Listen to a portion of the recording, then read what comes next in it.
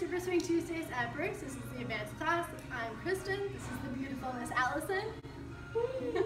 um, don't forget to like, comment, share, subscribe, do all the things. arjaycenteno.com, Arjay Centeno on YouTube. Find him everywhere, right? right now he's in Australia, so this is our down under Tasmanian Devil class. Um, so we started out with a basic starter step with a little bit more energy than usual. So we had one and two, three and four. We had a spinning left side pass with the followers tilted. We came and collected her again. Then we did a whip from close with a sharp um, flip at the end. One, two, three and four, five and six. We sway left, right, left, right. Then we did a progressive tuck. We did a catch. Two, three and four, five and six. Leaders backed up. Seven and eight. We did a crossbow whip with the eggbeater ending.